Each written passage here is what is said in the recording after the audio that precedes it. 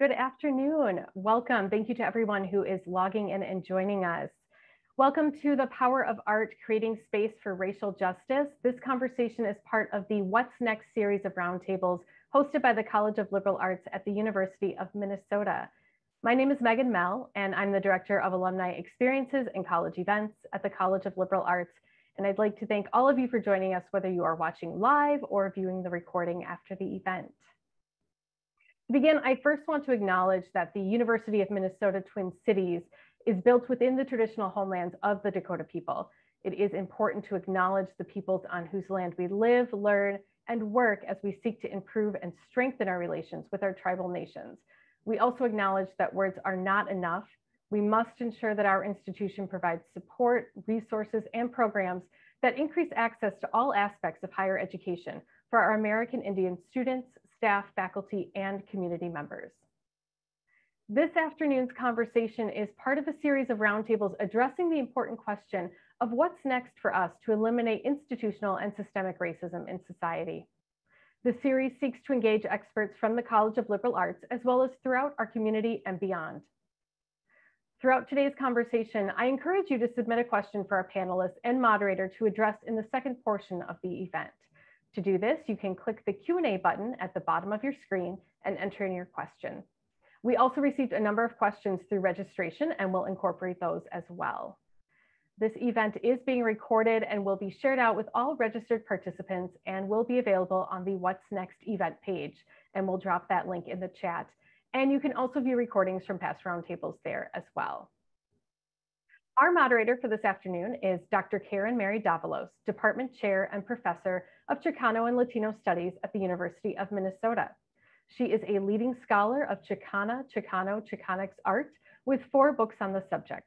Her latest book, Chicana Chicano Art Remix, Art and Errata Since the 60s, exposes and challenges untenable methods in art history. Professor Davalos is currently building Rhizomes of Mexican American Art since 1848, an online digital tool linking art collections and related documents from libraries, archives, and museums. Professor Davalos, thank you for joining us. I invite you to begin today's conversation.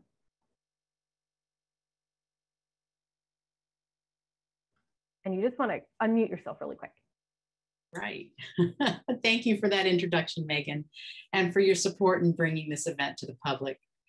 Good afternoon, everyone. I'm delighted to serve as moderator for this important discussion with our distinguished panelists. We have Kayleigh Bryant Greenwell, a cultural equity and audience engagement strategist with over 10 years of museum and nonprofit experience at the intersections of social justice and racial equity.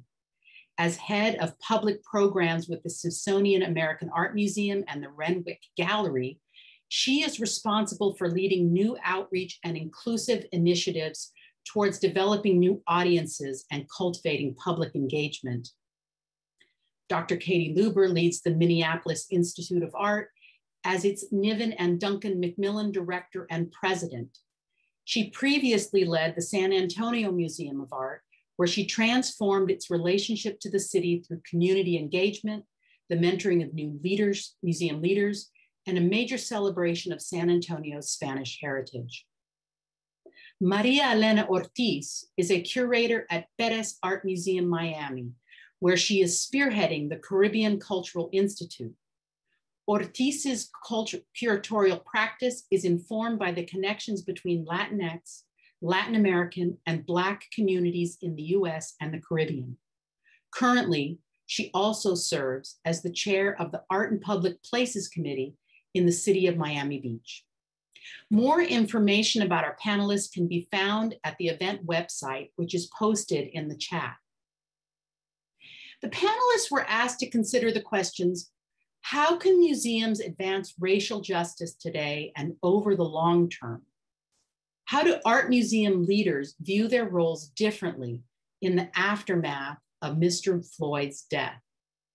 We'll start with this and other questions for the panelists, and at approximately 1 p.m. Central Time, we'll take audience questions. Who would like to begin? And mute.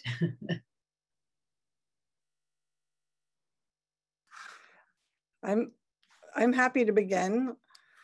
Thank um, you, Katie.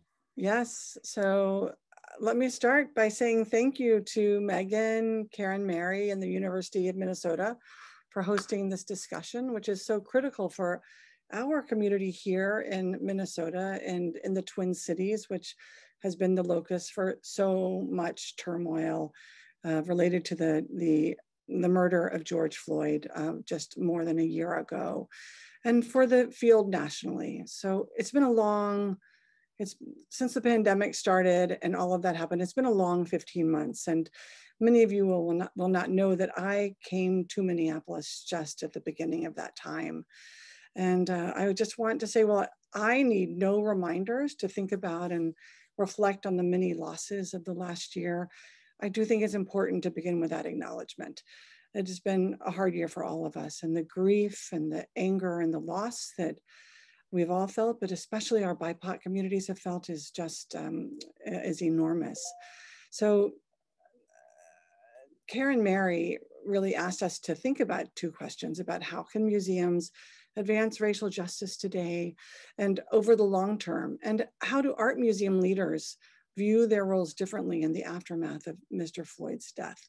And the way I'd like to frame that as a starting point for the conversations to come is that this has to be about art itself. Um, as I frequently remind our staff here at MIA and our community, we're an art museum first and foremost, and that mission needs to inform what we do at all levels.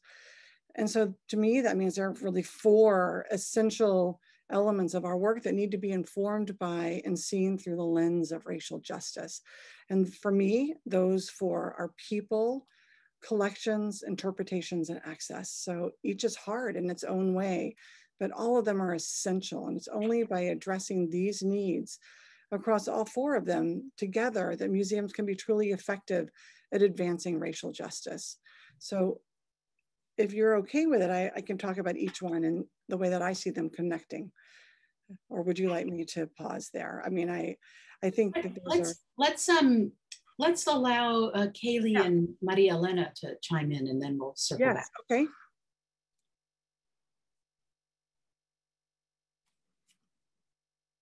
Um, I can go next. Uh, thank you for this, uh, this great prompt and the opportunity to have this dialogue today. Um, so the question of how do museums advance racial justice, that first part of the question I think is so important. Um, I, I believe in my practice, um, I, I try to um, approach my work um, and through an anti-racist lens and practice, a critical race theory lens and practice um, every day.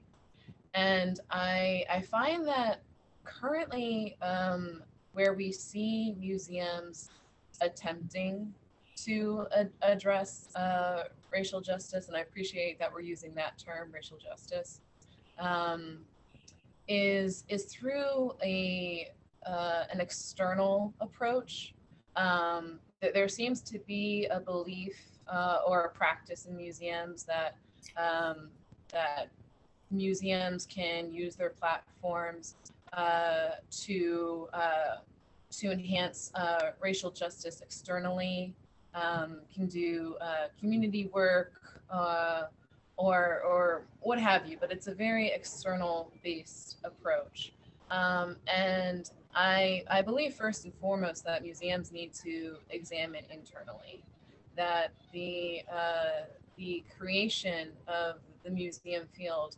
is uh, was originally uh, very essentially um, a, a, tool uh, to promote uh, white supremacy culture. Uh, we are founded on white supremacist values. Um, white supremacy lives in our structures, in our operations, um, in our collections uh, and in all of those practices. And so when we think about racial justice and the how to, um, I, I, think it's beyond time uh, for museums uh, to start to correct that approach that um, we can't uh, we can't hold um, injustice within ourselves and then start doing racial justice externally. We have to begin uh, with this uh, this internal um, alignment, we need to dismantle uh, the, the structures and the oppressive behaviors uh, that currently um, and continue to operate within us. Thank you. Maria Elena? Uh, well, you know, thank you. You know, I'm very happy to be here. So I want to echo uh, what my panelists are also um, sharing. You know, um, it's interesting because I don't really see my role differently after the aftermath of the killing of George Floyd. Like, as a Black Latina woman born and raised in the Caribbean, in Spanish speaking Caribbean, Puerto Rico, um, I knew coming into the museum space that I was one voice. You know, there weren't that many people like me within the curatorial staff or even like leadership or seniorship or, or all that. So I was very much aware that it was an opportunity to really advance what I think is actually the culture of the majority of the US, because especially in Miami, which I think we're going to get into context later, but in Miami, you know, um, 60% of the population is Latin, and then another 20 is Black. So I always kind of came into the position thinking I represent the majority, and I truly believe that culture is power, especially in a country like the US. So, you know, the exhibitions that I put forward, the um, acquisitions that I put forward, certainly the programs that I put forward, very much represents who I am as a person, as an individual. So the aftermath of what happened in the summer hadn't doesn't change that or didn't change that.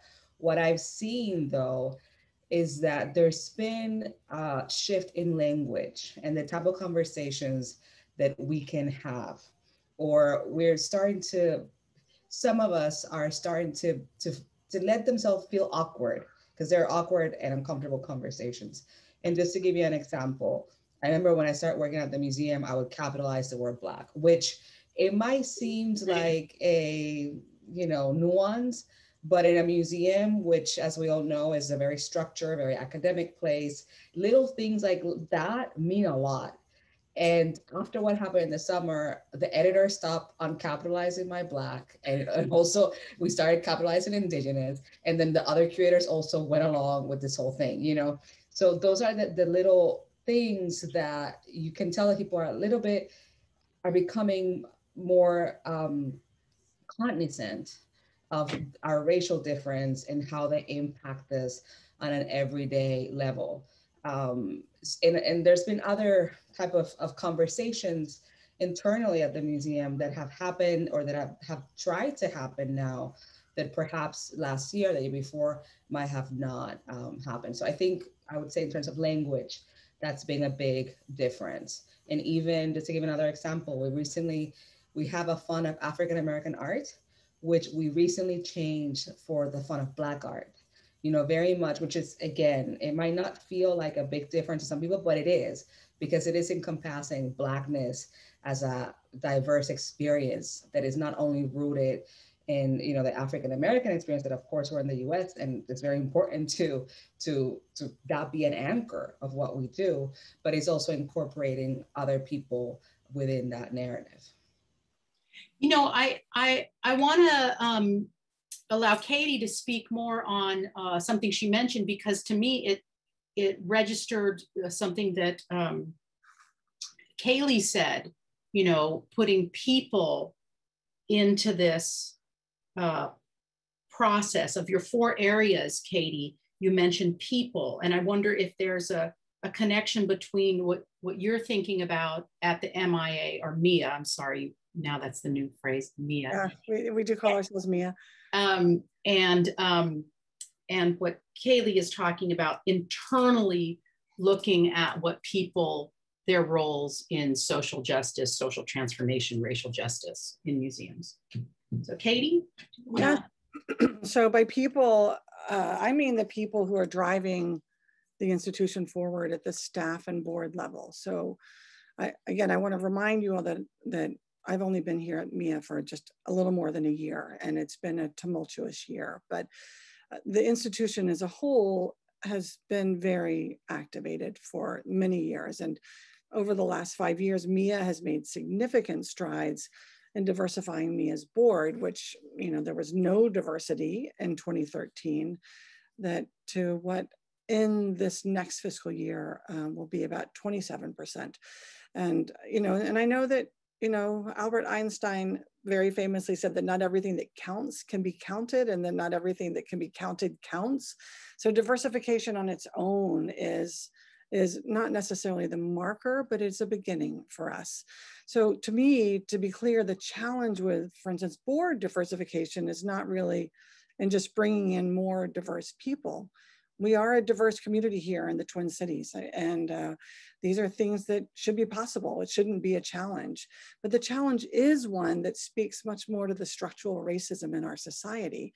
We don't just need a diverse group of people, we need a steady stream of trustees from diverse backgrounds who see the museum and the mission of the museum as something that they want to support with their time, their wit, their wisdom, as much as their dollars. So I am really pleased with the progress that MIA has made and will continue to make. And we are part of that AAM Ford Foundation Facing Change initiative uh, about diversifying board leadership. And all of the art museums here in Minneapolis are a part of that cohort, that first cohort. And uh, we, we need to keep working on that. And the other this other side of the coin, of course, is staff diversity, and then there's audience. Um, and that's staff diversity is another area of, prior, of priority focus for us here at MIA because the work that our people do to bring our collections to life for audiences is essential to that racial justice work. And 20% of our staff identify as BIPOC. And I'm sure that many of you all are aware of MIA's work on equity and diversity issues over the past 10 years. But much of them, that has been as an add-on to people's existing responsibilities, which has made any number of challenges. So I'm really excited that we recently announced that we raised $5 million to endow a leadership position for diversity and inclusion. I, and I think, to my knowledge, we're only the second museum in the nation that has been able to do that. Um, you know, so that we'll have an, an endowed position for a senior DEAI officer. And for those of you who don't understand uh, what endowment may be, what that is, it's a secure funding source that ensures that we don't hire a new diversity person and then have to say in three years, oh, our funding ran out and so goodbye, we don't need you anymore. And for me, it was the work of the past year to convince our board that this was really important work and that we had to make sure that we were committed to this in a longitudinal way. Um, and further, among our new DNI officers' responsibilities will be overseeing our human resources department. Again, that doesn't sound like such an important thing, perhaps when I just say it like that, but this is this activity supports the growing diversification of our staff moving forward, um, while also improving how we understand, talk about, and advance racial justice issues throughout the whole institution. So that that is for me really just the critical uh, answer to why people are so important because it is about the leadership of the organization, it's about our staff, and then audience as well, which we can talk about maybe a little bit later.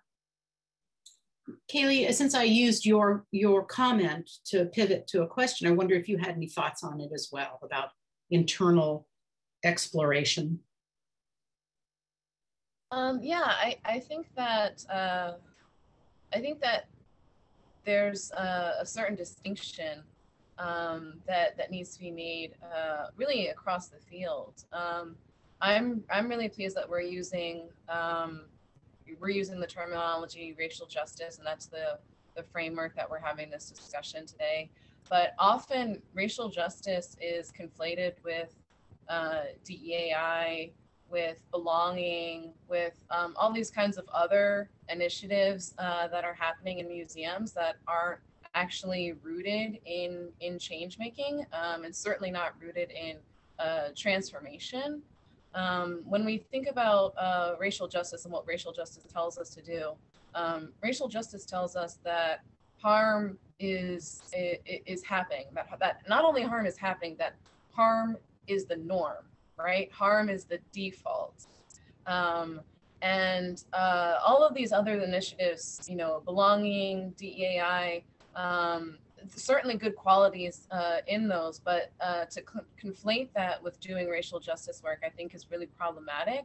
And I think it's part of the reason why we keep finding ourselves in these cycles of, okay, you know, what's wrong? Why haven't we advanced? Why are we still in the position we're in? Uh, why is it such a struggle uh, to get ahead? Um, because, you know, when we think about, you know, breaking down those letters when we're when we are doing, you know, diversity as a verb, when we are diversifying, when we are uh, we are doing equity, when we are doing inclusion, you know, we're still holding the status quo at the center. We're still holding whiteness at the center. And I think that racial justice tells us that we have to dismantle the existing structures, the existing operations that the default is in fact harm. And that that is the problem and that is where the work needs to be happening. Maria elena i see you shaking your head. Yeah? Um well you know we're talking a lot about like internal processes right i mean and cycles i do think that like all the cycles that we have have over the past i don't know since the 60s that's also a lot of data.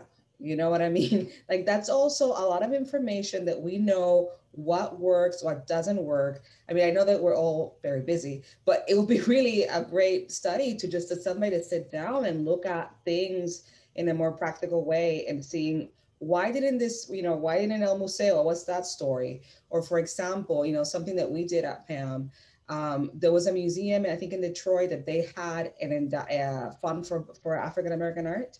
That eventually, once the fund ran out, the money ran out, so there's no more uh, money to to buy work. So we started our fund as a fund, and then in 2016 we changed it into an endowment.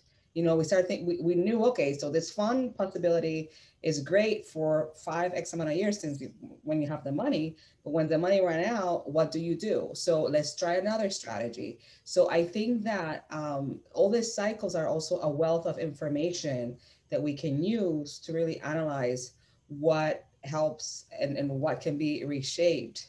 In terms of like internal staffing, you know, to be very honest, when I was hired at PAM, PAM staff looked very different and um, I, I, was hired in that moment where people where, where the museum was very self-aware that we were starting a new building in 2013 and we really wanted to be the flagship for the city so we needed to look like the city.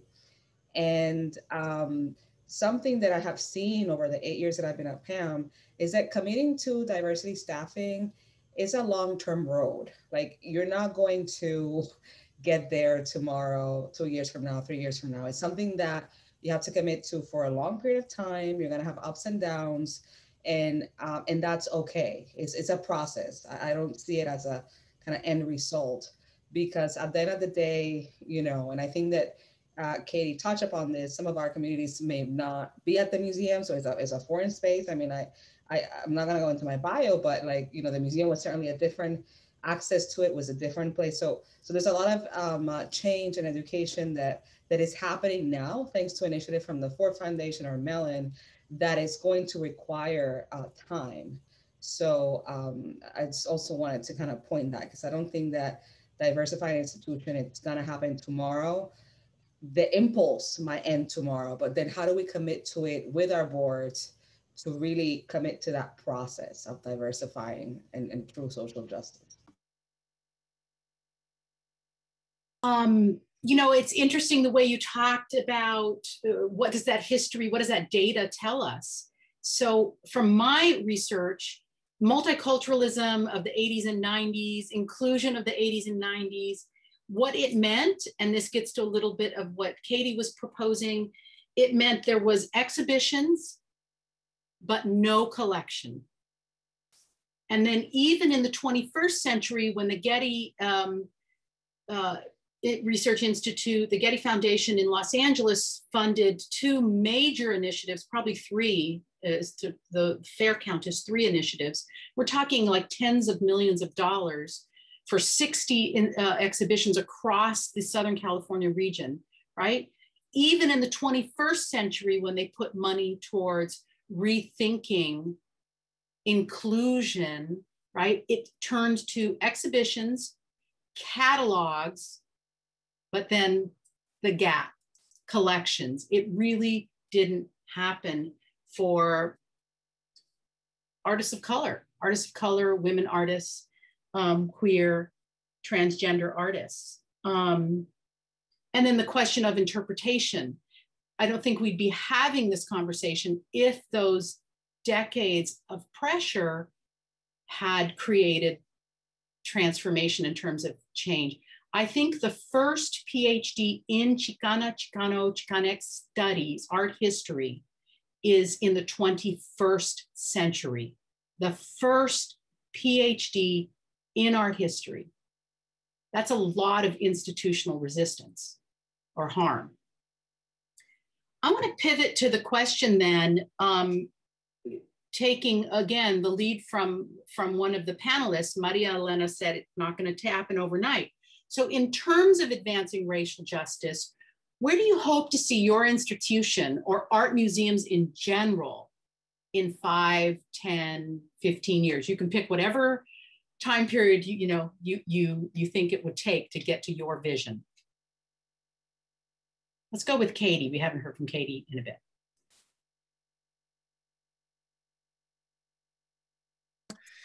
Um, so I, I am with Maria Elena Ortiz that that it's going to take a long time. You know that our visions of having institutions that reflect the fullness and the richness of our communities, uh, that our collections reflect that richness, that our programming does, that our staffs do.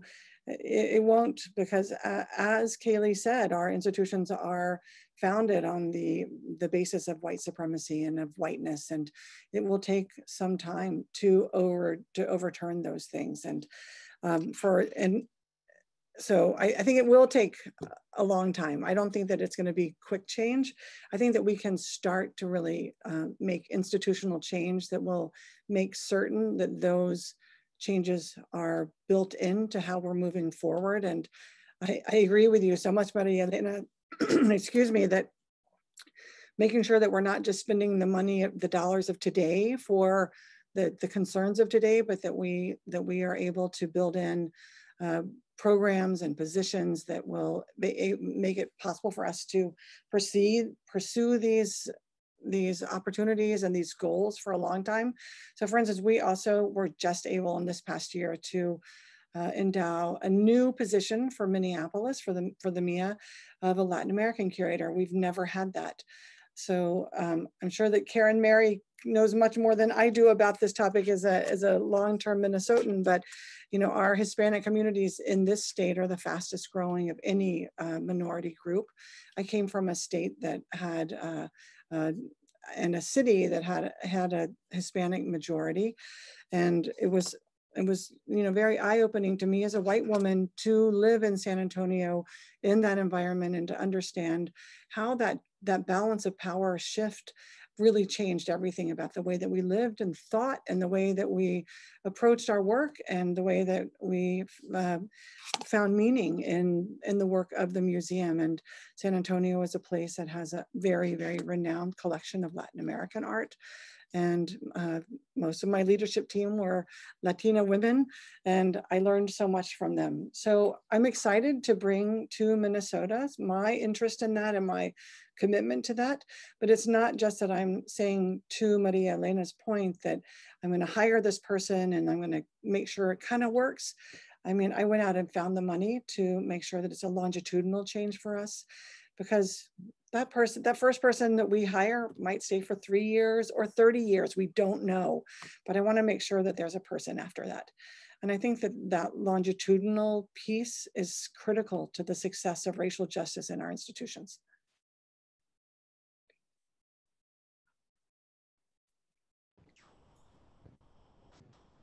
Okay, I can I can jump in.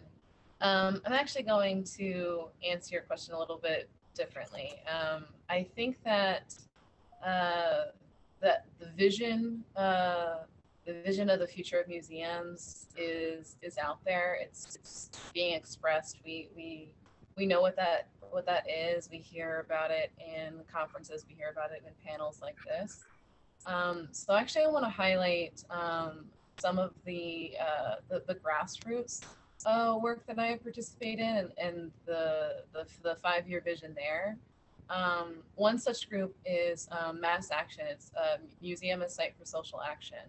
Um, I've been uh, involved with this group since uh, since its launch in, in, in 2016, and um, uh, this is a this is a grassroots, you know, volunteer-based um, national uh, group of um, of museum practitioners who are are committed um, to uh, to transformation, uh, to transforming the field, and uh, in in that uh, through through a racial justice lens. And you know, over over this year, I'm just gonna be very frank. Um, since uh, since the pandemic hit, um, witnessing uh, George Floyd's murder and aftermath um, from you know from our home screens. There, the the field, uh, the field has already um, taken such a hit, and and I don't think that it's being discussed enough. Um, the number of positions, the number of jobs lost, the number of um, uh, the number of uh, newly unemployed practitioners, and and who they are. Um, we're talking mostly positions that are front of house, that are in education, that are in community engagement. And if we uh, we look at the demographics of those sectors in our field, that is where our BIPOC peers are. And so this field in the past year has come as overwhelmingly overturned white once again. And that is um, that that is something that should scare us. That is something that should really scare us that we have gone um, we have gone so far backwards in time in the course of one year and it's not just uh, it's not just the layoffs um, you know one of the that i hear in, the, in these grassroots uh, forums in, in museums and race in empathetic museum uh, one of the other things that's even more frightening is the number of bipoc peers that have voluntarily left positions because they, they had reached their breaking point of being able to swallow the harm of their organization. I mean, if we really think about what it means to be BIPOC in a museum space, what that does to our bodies, what that does to our mental state, the, the, the continued harm that we voluntarily place ourselves in, and for, for colleagues to in a, in a in a situation in a pandemic where job security doesn't exist, uh, where layoffs are just exponentially uh, on the rise, uh, to voluntarily leave because the, the, the field just isn't getting it. Um, so my my my five year vision um, is a huge course correction of this. I want to see these grassroots groups mass action, museums of, and race, supported um, by our institutions, embraced by our institutions that these lessons are uh, being taken seriously and being implemented. Um, there, you know, there's uh, within these groups, there's um, there's constant stories of of you know retaliation, of of um, you know people lose their jobs for for just saying uh, this is a white supremacist uh, industry. I mean, I'm, I'm lucky to be able to say that and keep my job. Um, you know, I have so many peers that that that aren't as lucky. And so my my five year view is that these organizations that um, are really um, holding uh, museums accountable are creating the resources, are are pushing the field, are advancing the field, are are taken more seriously um, and not just taken more seriously, but but valued and and no longer in a position of um, of uh, you know potential harm just for doing the work. Um, not to add more doom and gloom to that perspective, but um, what you mentioned, Kayleigh, you know, is all across the board with the pandemic itself. Like we pandemic affected communities of color the most So the majority of deaths were in, in our communities. Therefore, um, some demographers were saying that it pushed back um, uh, like the rise of, you know, uh, brown and black people like 10 years back because of COVID. So this is happening all across the board, probably in a lot of other industries. Uh, but the art industry has been particularly hit, and people say that there's some positions that are probably never going to come back. That being said, I think you know five years is a is a very it's almost like a year in museum time. But I think that what I can say right now that I feel like we as a curatorial department have been very committed to is acquisition. So I'm actually very um, excited to hear what you were saying, Karen Mary, because that's something that we have been really trying to tackle. Because even though we're in Miami and we do all this great stuff, like our didactics are bilingual, our books are bilingual, and so on, um, our collection still looks like the collection like any other museum in the US where it's mostly white males. And we've been really trying to buy more work and present more work to our acquisitions committees and other uh, collecting groups to push other narratives. Sometimes we're successful, other times we aren't, but we keep trying and we really keep uh, pushing forward um, in all of our acquisition avenues, different types of works that we as a curatorial team know that are holes in our collection. So I think that is something that in, fi- in a five-year span, we can certainly commit to or, or, or could, could help. Um, you know, uh, this question came in earlier. I'm just going to use it as a comment and then pivot to something else. Um, you know, if museums want to, mainstream art museums want to invigorate their collections to be more inclusive, to represent the population of the nation or the world, um, the best collections of African American art, of Chicana, Chicano, Chicanx art exist in community institutions, or in the case of African American art, they're at H, HBCUs, right? So it, it requires a certain kind of collaboration that I think um, Kayleigh is suggesting is not very healthy at this moment, right? That if the best work of at least these two populations I'm thinking of exists outside of mainstream art museums, then something else has to happen. Um, let me let me use that maybe something else and, and keep it broad. It's not just collections.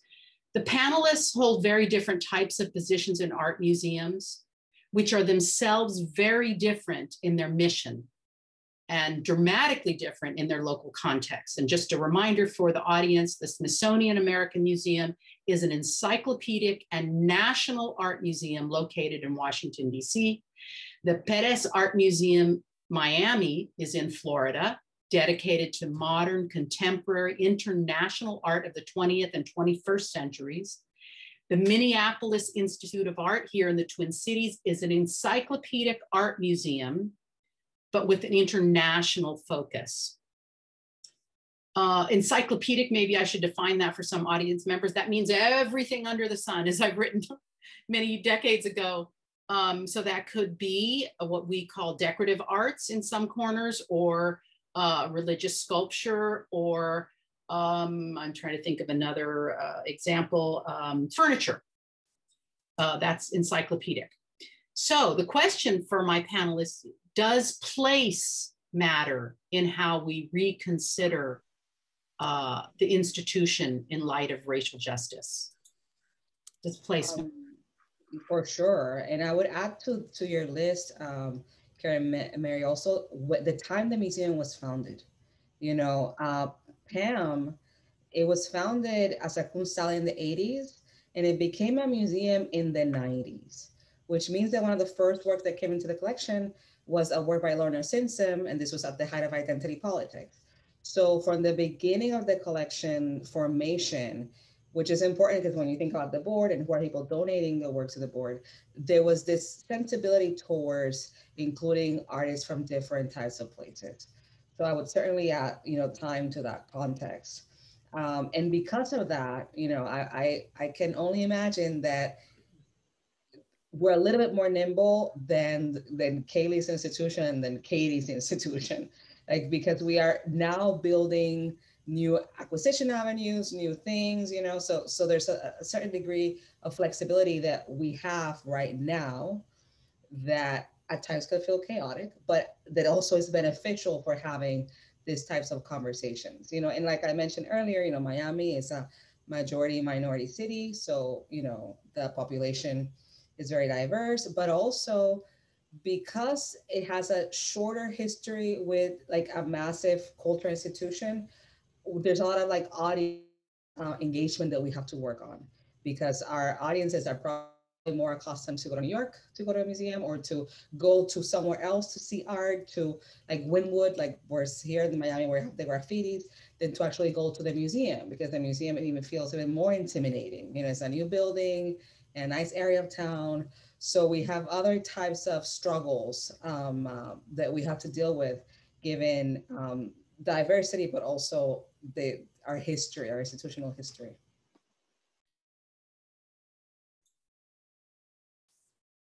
Kayleigh, the Smithsonian. yes, the Smithsonian. Um, very fair to say uh, that we are not the most nimble of organizations, but as you can imagine, um, as an institution with uh, 19 museums and centers, uh, you know, there, there's there's a lot there's a lot going on. There's a lot happening.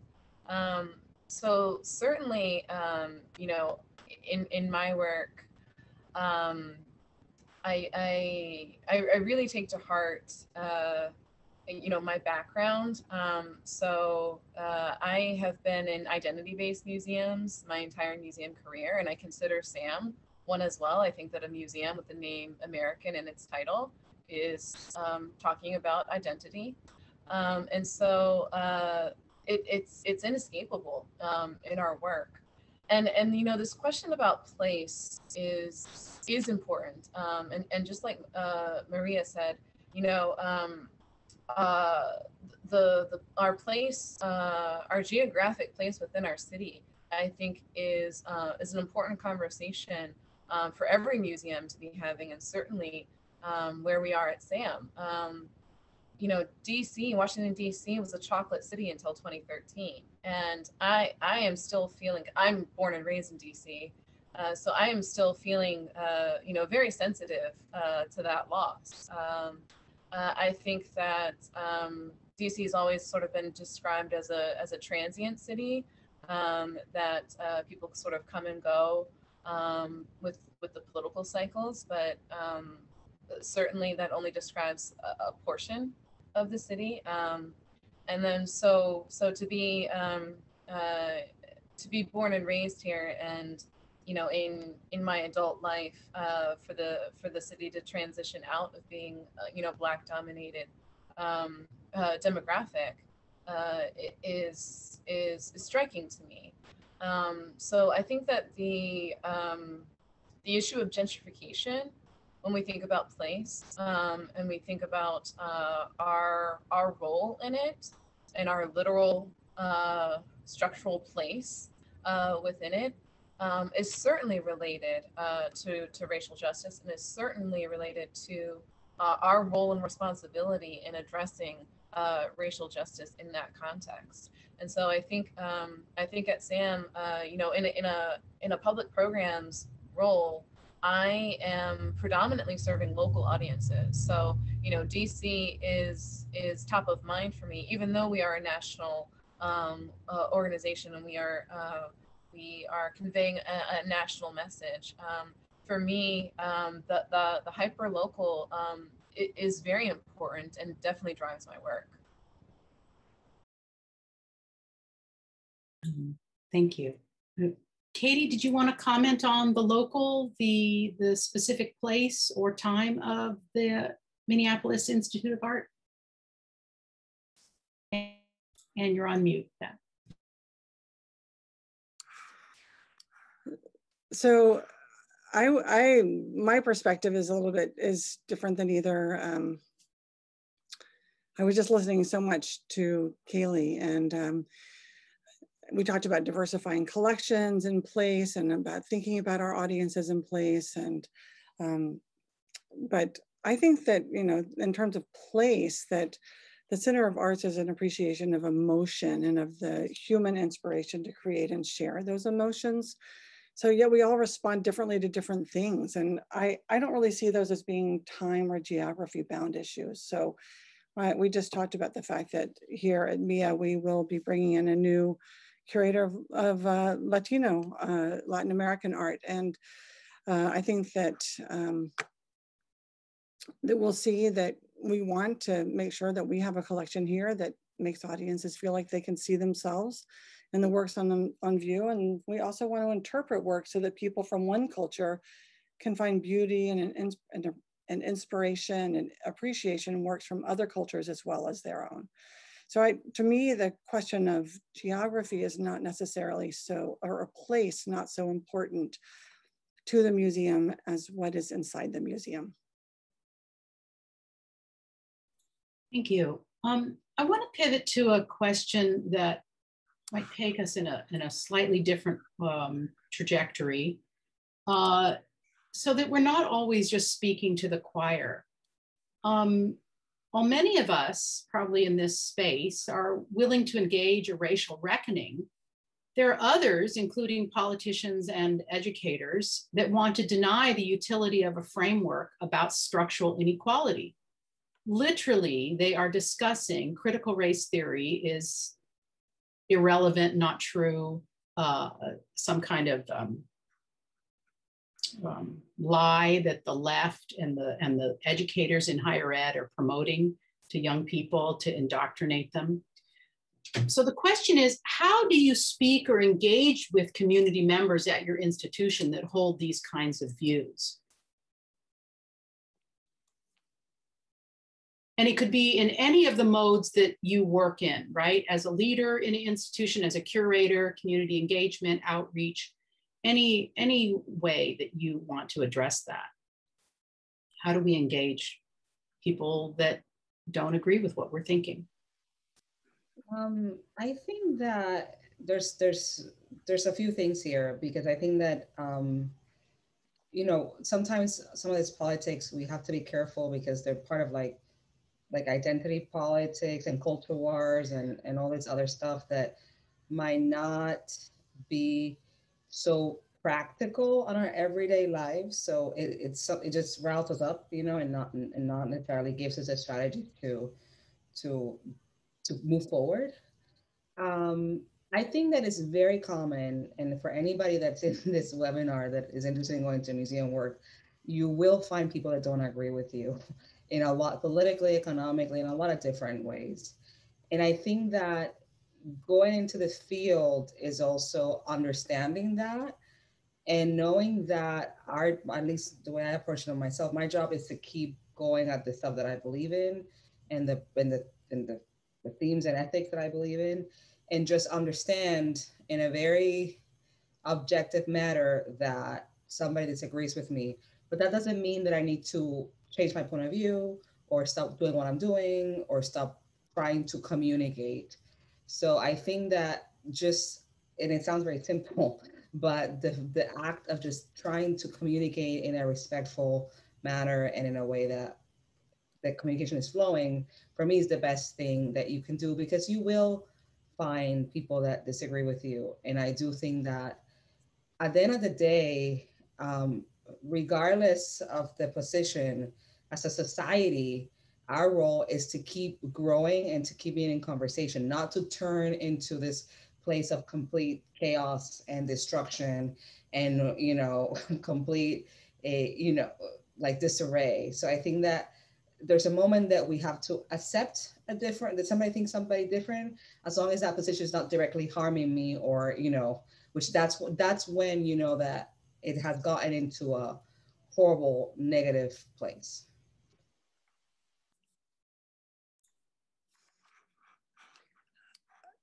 I, I love what Maria Elena was saying about the idea that we are thinking about continuing to have conversations about the way that we address these things and that we have to recognize that there are a variety of different opinions that surround us and that we can be, and for me as the director of a museum, I have to be cognizant that there are many different kinds of opinions, both amongst my large staff and then amongst the board and in the community. And I think that to, for us to all be able to find the pathway forward that we can take together is how we can also ensure the long lastingness of our commitment to this work.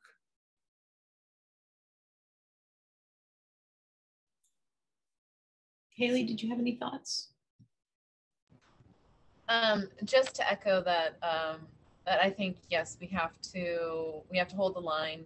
Um, we have to keep the commitment um, to doing the work. Um, uh, I, I, want as much as possible in my work not to um, not to mirror white supremacy culture in in my own approach.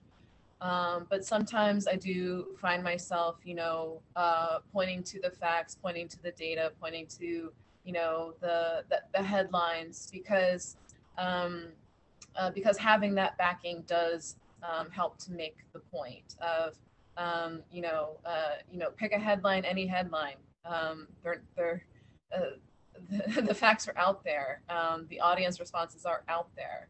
Um, audiences are are are fed up with excuses from museums. They're fed up with the slowness of museums. Uh, they're they're fed up with the, these inadequacies, and so um, I think this helps uh, to to keep us on track, uh, pointing back to um, you know our our mission is to is is to serve the people, and the people have spoken. Um, I I want to drive that question a little bit further based on something that Kayleigh said, um, undoing white supremacy culture in a museum, particularly, you know, thinking about one of the questions that's come in. Um, I had to confront this for myself. Let me just put it in, in that context. I work in a predominantly white institution and you can pretty much say that about any higher ed institution. There's a few Hispanic serving institutions, historically Black colleges and universities. Um, but most institutions are predominantly white, even if the student body is diverse racially, culturally, etc., because the concepts are driven by the Eurocentric Western notions of what is knowledge.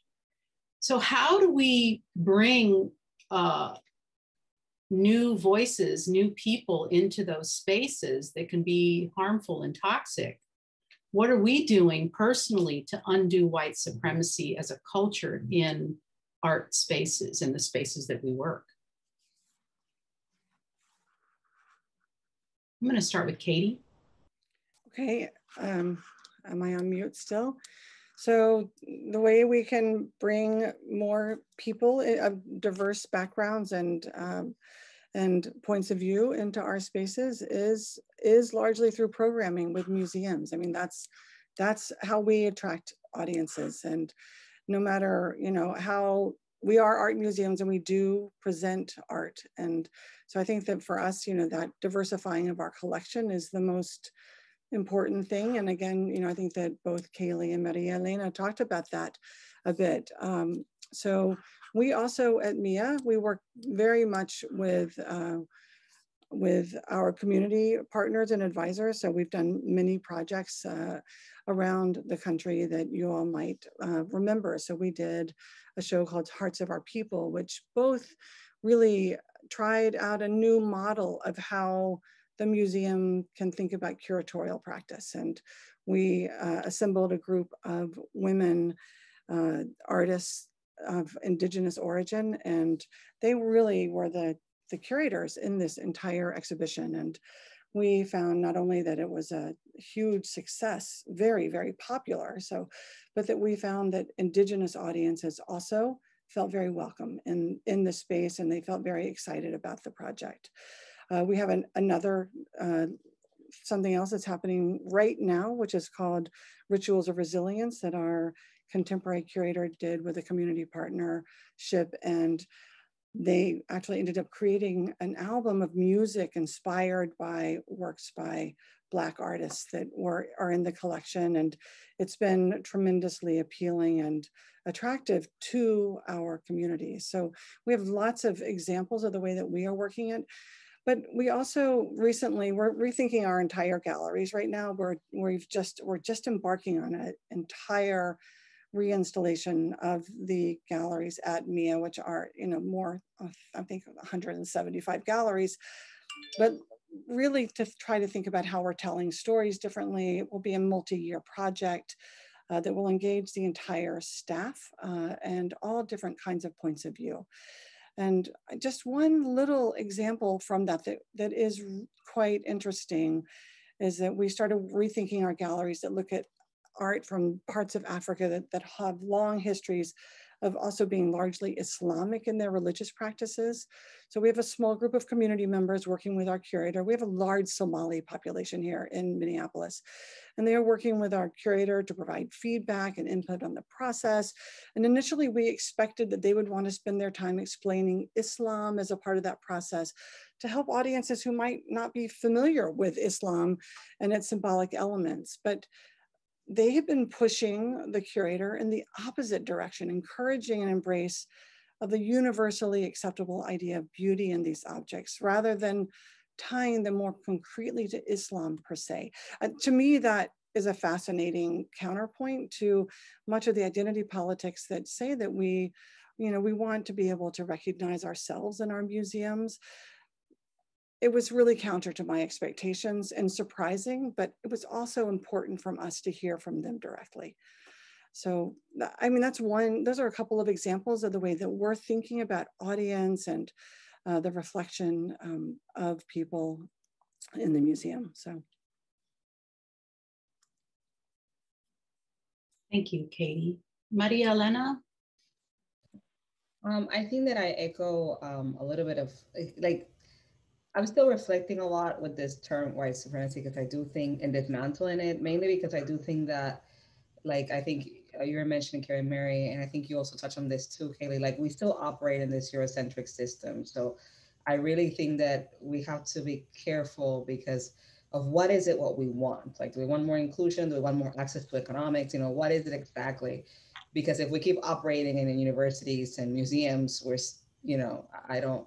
I'm still reflecting on that that being said, I think that if we're talking about inclusion and if we're talking about economics, then that's what I would focus on, on access for more economic equity. And I think in the arts field, that's like, and in the US in general, that's like a big, um, how do you call it? Like a cuco, they say in Latin America, like the, the, the thing that haunts you, because nobody wants to talk about that. You know, people rather talk about race, but they don't realize how race and economics are tied together. So, um, and like I was trying to say in the arts field, you know, we can think about what that means for salaries, access, the role of women in institutions. So I think that for me, in terms of practice, that's a way to really fight for a more equitable space and more, it's something that is going to lead to racial justice. Because at the end of the day, um, I, you know, in the US, that's what I think. I also think that on an intellectual level, which I think it goes back to something that Katie was saying about um, the, the big Somalian community, um, you know, often when we talk about diversity, and we have to be very careful because it's usually for a few people.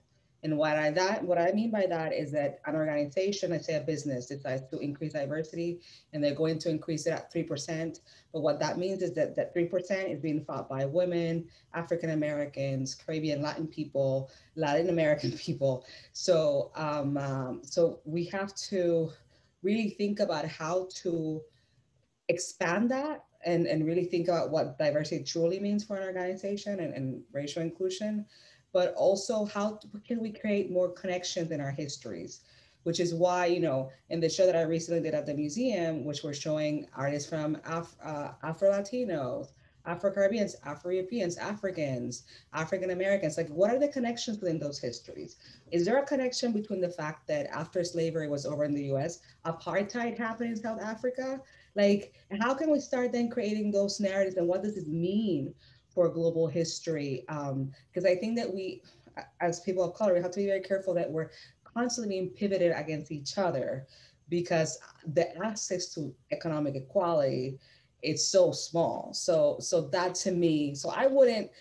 Sometimes I feel like you know this and white supremacy feels a little bit too uh, overwhelming because we really destroyed our society structures that some of us we like. Like some of us like Twitter and and this other stuff, and we like the university and we like the museums.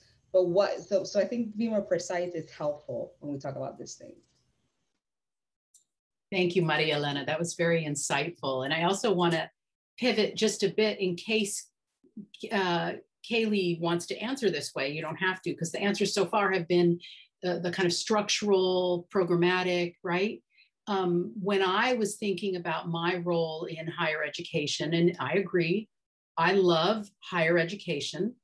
I would like it to be more accessible. What I do personally, when I have a student of color working with me, um, we work together with was an important preposition. And um, I name for them the structure so that they're not, if, they, if they don't have language for that structure, they can then see that, oh, this is not their fault. This is, this is part of the harm that's been done to them as a person living in the margins, um, made to feel invisible and unwelcome. So to help them get the language to name it. Um, anyhow, uh, I want to leave time for Kayleigh's response. Um, so I have a, I have a slightly counter uh, opinion about uh, about approaching um, this work. I think that um, that others probably in programming and education and community engagement can relate. Uh, that uh, you know, there's approach that sort of uh, tends to, uh, you know, pick the person in that role who's off, often a BIPOC person, you know, line them up, crank, crank the, the, the key at the back and set them outside the museum and ask to, you know, bring in. And um, I'm, I, I really push back against that model.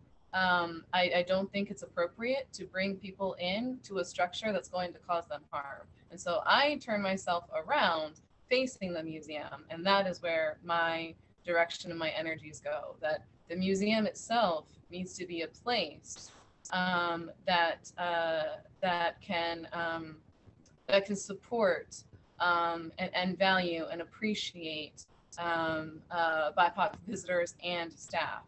And so I think that there are um, some ways that museums can can do this better. Like if you are if you're in the toxic workplace and it's so toxic, but you've been there for so long, you don't know that it's toxic um, there's a temperature check you can take. Now um, it's as easy as going on Instagram and going to change the museum. You can find out your museum's reputation amongst uh, uh, amongst potential BIPOC candidates. I, I know this from experience. Um, there have been jobs that I've gone uh, uh, in, into interviews for where um, my Black mentors have stepped up and said, you know, do not go there. Do not go to that institution. It is not going to be a safe place for you. You are going to uh, be overwhelmingly harmed day after day, don't do it. So the reputation exists, and there is a way to find out. Um, uh, Mass Action has been doing this accountability campaign, um, uh, taking the, the statements that, that came out uh, last June um, on the, the blackout uh, day and comparing that uh, to, um, to what museums uh, have actually done um, and uh, um, and their, their their rate of hire. I mean, it, it's so easy to go to your own HR office and learn your turnover rate. Your BIPOC turnover rate um, is probably not great, um, and you can easily find that out. And I, I, thought I'd also tie in a question that was asked of me in the Q and A about what am I personally doing to um, to support uh, BIPOC peers, those who might be um, at that breaking point. Um, you know, something that I have uh, I've always done in my practice is uh, is to support um, uh, to, to, support uh, the the BIPOC, often the BIPOC women, the Black women. Um, uh, in in positions uh, under me or or, or, or junior positions in the museum something I continue to do. Um, I continue to to sponsor um, my my old intern from the MOC from almost four years ago now, um, helping her uh, navigate her museum career. I think that um, that each of us that are in a position, uh, privileged enough to be in a position where we can speak up and speak out uh, w- without the fear of retaliation. Um, it is our responsibility to to help others along, especially the next generation of of practitioners. Yeah, Katie. So Karen, I, I realize that you, I didn't see your note um, before, but um, that this was, and I'm sorry that I got distracted in my previous answer, but I, you know, like, I mean, um, like what Kayleigh was saying about our personal practices, about how we are trying to make sure that white supremacy in the museum is uh, is something that we are undoing, that we're dismantling. Uh, we, I am have really worked hard in this year to make sure that that is happening at MIA. And again, it's something, it's a, a learning process for me. I'm a white woman and I have, you know, I am learning about uh, how to think about this and talk about this as I will say the majority of my colleagues in the director's seats are. Um, so am I, we're, none of us is perfect, but we're all really working hard, I think, to try to make the forward steps that we need to do. And we're learning from our colleagues uh, of color. And we're uh, working hard to make sure that we are looking at the museum from the outside. I love that analogy, Kayleigh, that you're standing outside looking back at the museum and trying to understand. So at MIA, I know that, you know, we've tried to do some some, um, we tried to understand the community that exists directly around us, which is, um, you know, a, a, predominantly, not predominantly, it's kind of 50-50 African-American and minority community. And we, we did a survey and, you know, all the white people answered the survey. So that it was, it was really problematic because it didn't tell us anything about what the people who we cared about reaching or thinking or, or saying. So there's, there's also about the, um, you know, my personal commitment to making this, and I saw many comments about, you know, what, what am I personally doing? And I'm, I'm raising money to make sure that the museum has the kinds of structures in place for when I'm not here anymore, because I'm trying to take the 100 year view of what the museum will need. And I'm trying to think about how we can change the museum so that we're more inclusive in terms of what kinds of art we collect and display, what kinds of curatorial voices that we have, and also what kind of uh, structure we have that will uh, enable all people to bring themselves fully and wholly to the museum and that they can uh, have full and exciting careers. I mean, I will say one of the things that I see in the museum world is that we, we tend to hire curatorial assistants or young people at entry level spots. And they hope that they will have a whole career at the museum. And because of this structure that is built in here, we don't often don't have that kind of mobility. Corporations are often much larger and you can climb up in the ranks. And that's one of the, the biggest problems I see is how we can ensure mobility of staff uh, in, an, in an organization. And we don't have a lot of turnover. I, I, I do a monthly all staff meeting here and I would say half the time I am congratulating someone who's been here for 30 or 40 years. So in a staff of 200, that's, that's a lot.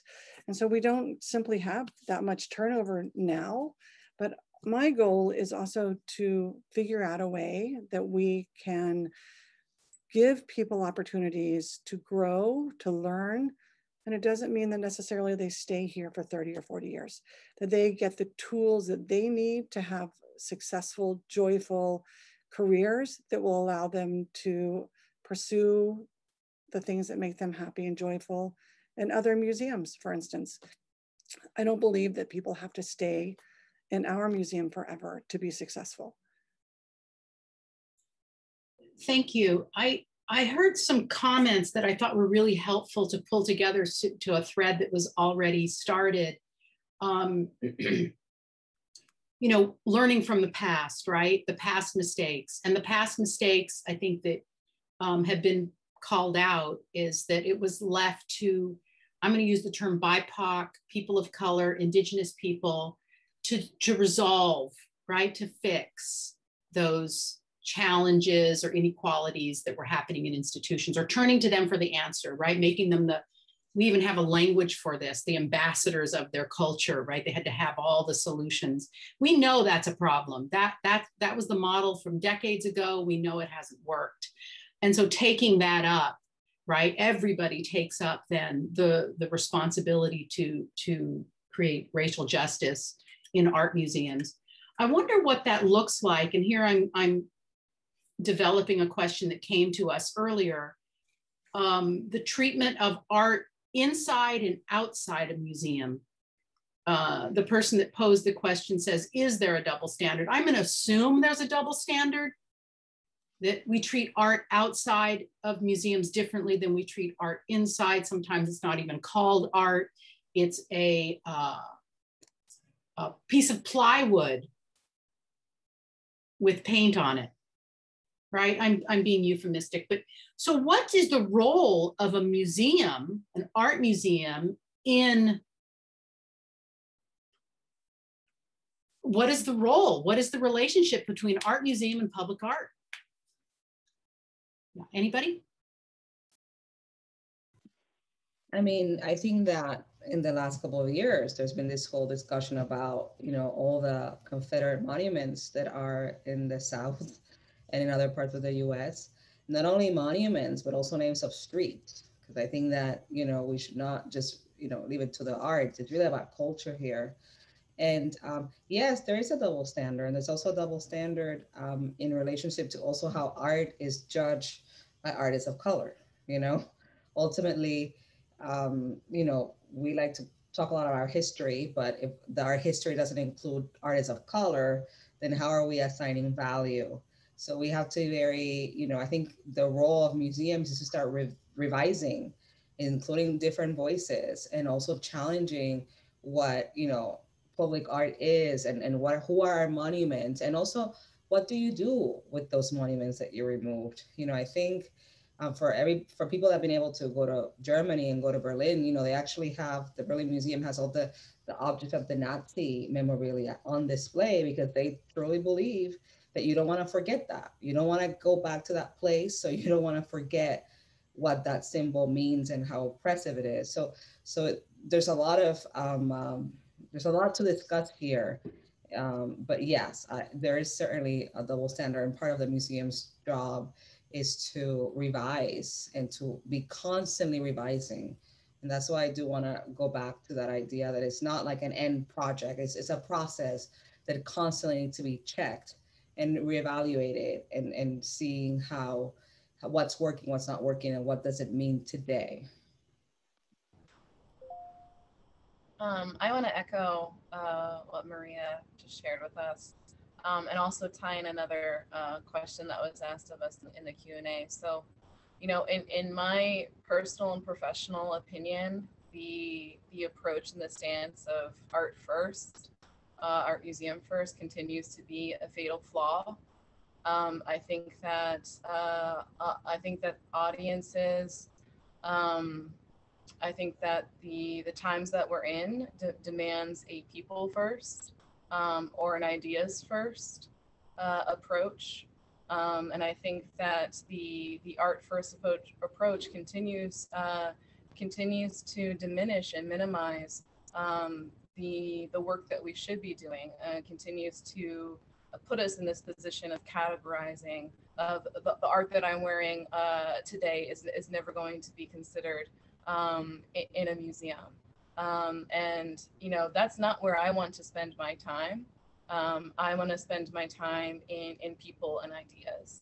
And, and so the question that was asked in the, the Q&A, which I think this totally relates to, um, uh, by Britt, um, you know, there are these two sayings, uh, all, all are welcome here versus this place was created with you in mind. I think that gets at the heart of the uh, of the issue of dismantling white supremacy culture in our museums. The idea that we can be this uh, white supremacist structure and operation, and then say all are welcome here, is hugely problematic, and that's not a people first approach. That's not an ideas first approach. It's not. It's not questioning that ideology that guides us. Now that the reverse of that, the uh, this place was created with you in mind that is the museum I want to build. That is the museum I want to work for. That's the museum that I want to retire from.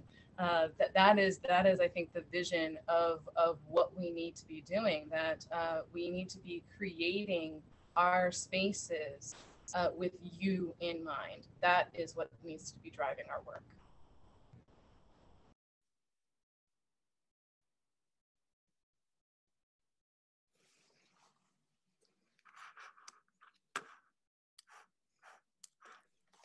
Kayleigh, I want to retire from that museum too.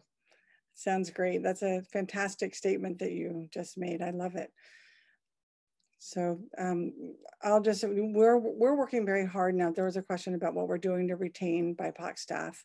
And at MIA, you know, we are looking really carefully at all of our HR functions, um, making sure that we are uh, doing everything possible both to recruit We've been in a hiring freeze since the beginning of the pandemic last year. We've just loosened that and we're about to embark on a number of, of um, hiring job filling opportunities. And, uh, you know, we, we lost a director who went to the National Gallery and uh, took quite a few staff with her. And so we have been at a low ebb here and we've lost some other staff as well. And one of, you know, one of the things, you know, that I'm thinking about a lot is how can we make sure that we're recruiting BIPOC staff, not just as at our hourly and, and entry level levels, as I said before. So we're making a really concerted effort to make sure that we have BIPOC representation throughout every part of the museum from entry level to uh, middle management to senior leadership. So I think one of the things, you know, retaining BIPOC staff is making sure that we are able to look at ourselves, understand where we are. And uh, we just, we did a large uh, cultural assessment in this last six months that has been really helpful to me personally and and also has provided me with an opportunity for self-reflection and to understand what me what I as a as a white-bodied woman bring to this role. So again, uh, the road is long and trying to make sure that the goals that I have for the museum are fitting with the goals of what the board wants and what our community wants and how do we find that one pathway forward that that really answers everyone's uh, desires and wishes is can be very challenging. I'm doing my best.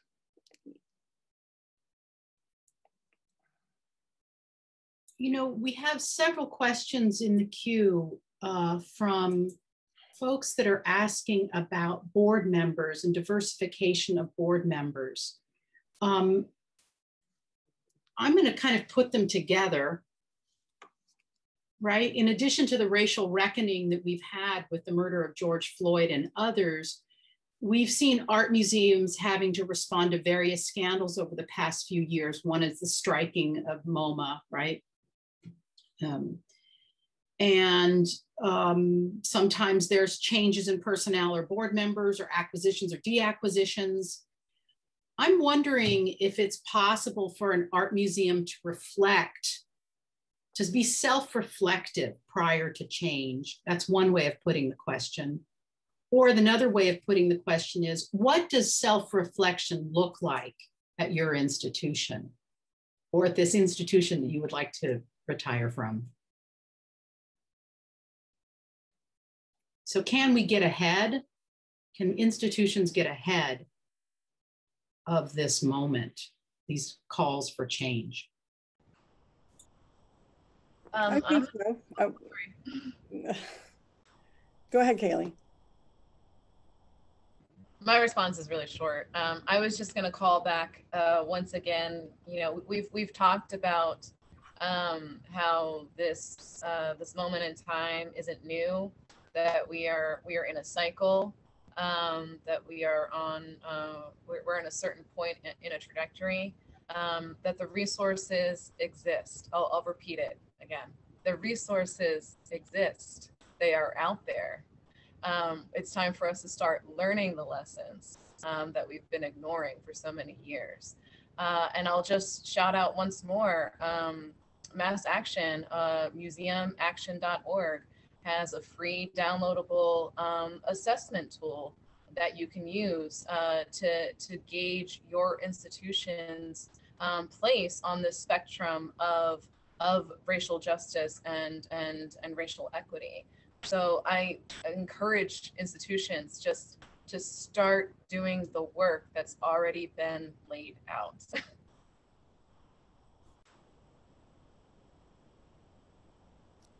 I think we can get ahead, um, especially when it comes to supporting um, diversity leadership on staff, and especially leadership and board. I think that if you have people in top positions that are, um, or you know, that are helping lead the conversation, that are coming into the conversation, that goes a long way.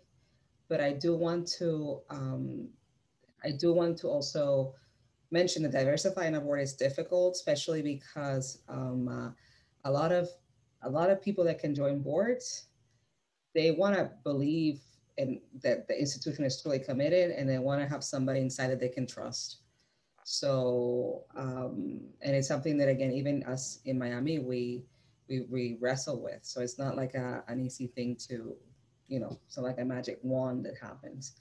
Um, uh, because, you know, it's, it's a trust position and it's about support. But so I do think that we can get ahead. Like if we know, like we are talking earlier about like the limits of our collections, we can start investing on that. So, so yeah.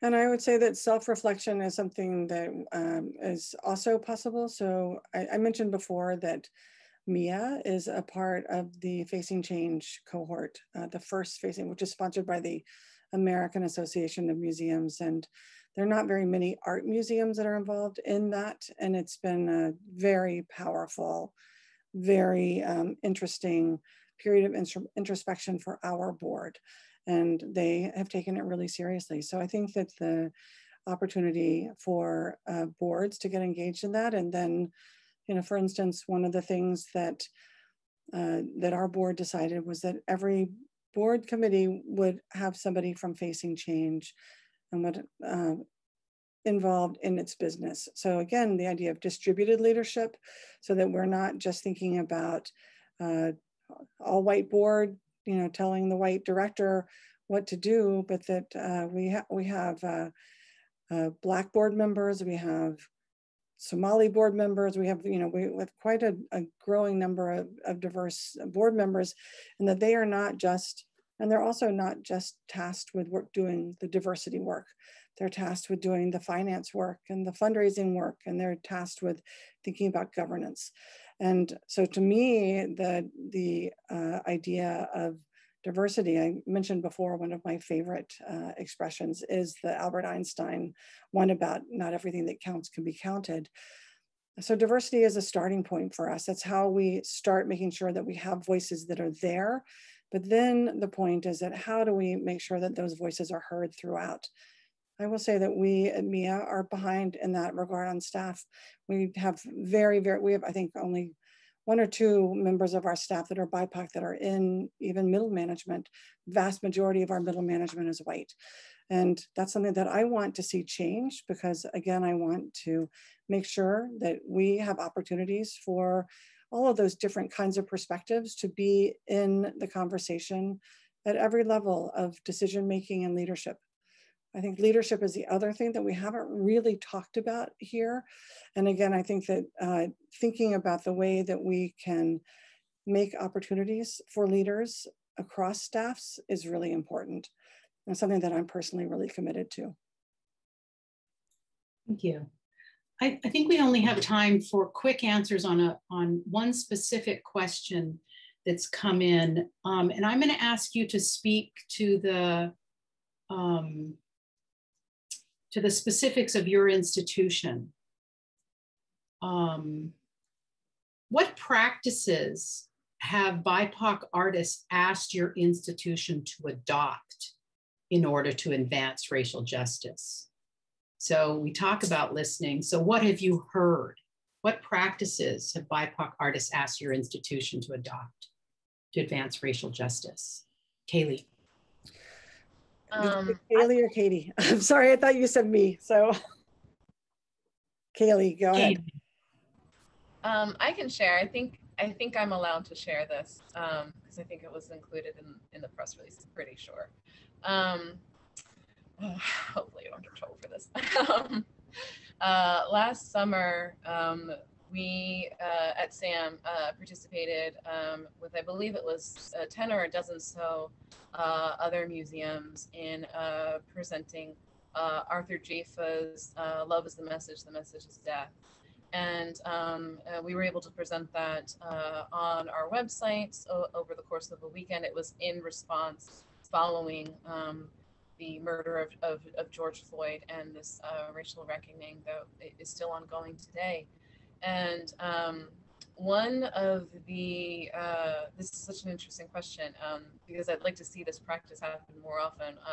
Uh, one of the requirements of showing this work um, was uh, to uh, to present um, programming um, in conjunction uh, that amplify um, the, the, work of BIPOC uh, artists in our own community, um, which we were able to do in a, a variety of ways. Um, uh, public program, panel forum on Zoom, um, uh, some some poetry and, and blog uh, writing as well, um, and other means as well. And um, I, I, I feel I, I think so fondly of of that project um, because I, I, think we would have um, we would have uh, enhanced the visitor experience anyways as as we are uh, tend to do. Uh, but to have uh, have the artist use their power and say, well, to, to show my work, I I want uh, the museum um, to uh, to to use their power and their platform to support um, the, the the BIPOC artists um, in their local community. I just thought that was so impactful and powerful.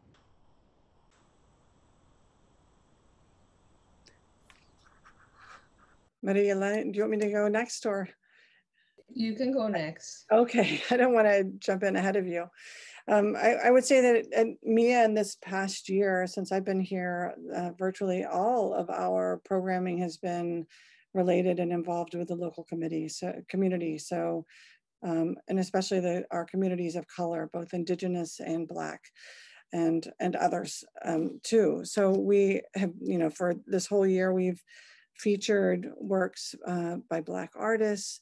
And we've heard, you know, the, the incredible gratitude for that. We've heard that, you know, I mentioned that we have this wonderful show called Rituals of Resilience um, up right now. And uh, there was a collaborative work with with musicians, with Black musicians in the community. And they started out, they were gonna make one song. They made an, an entire album.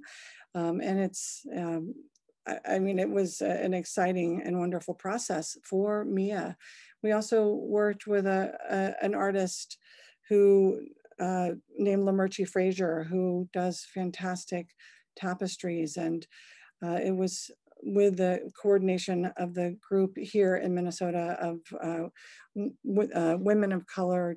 Um, I'm going to forget their exact name, excuse me, but they are a group of of um, fiber artists who work and they found this artist and they brought her to us. So again, we are very much interested in what the community brings to us. And I think that's been really very important in terms of our um, outreach to that community. So we're, we're working on all different kinds of ways. And I mentioned the Hearts of Our People exhibition that we did where we uh, just in 2019. It was before I was here, so I can take no credit for that. But um, I think it's a good marker of the kind of things that we do at MIA.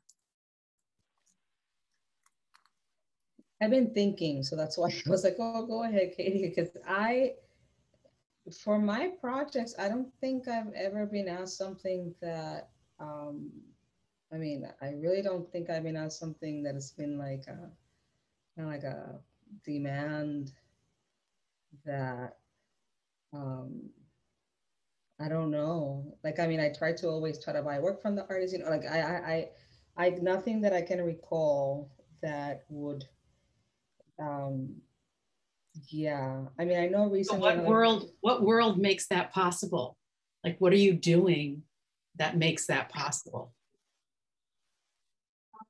I think communication, communication and, and, and, uh, trust and also transparency and um, like I don't know when I work with artists I always ask them what are your expectations you know like what what is it that you need what is it that you want um, because I think that once I think that most disagreements are people that don't realize they have different expectations so so um, on a situation so I think that that's but I'm sure I mean I'm not gonna like I'm sure that something will come up, and I think that contexts are different. Um, but at least in my career so far, which has been, you know, over 10 years now, I don't remember anything. I mean, I guess, that, yeah, anything that has been demanded that I felt like it was like this crazy, like, I don't know, that we're pushing the bound. Uh, this, I hope that that was useful. No, that's fine. Thank you. Yeah.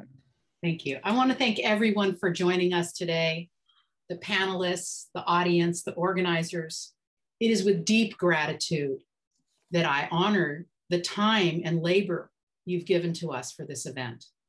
Thank you.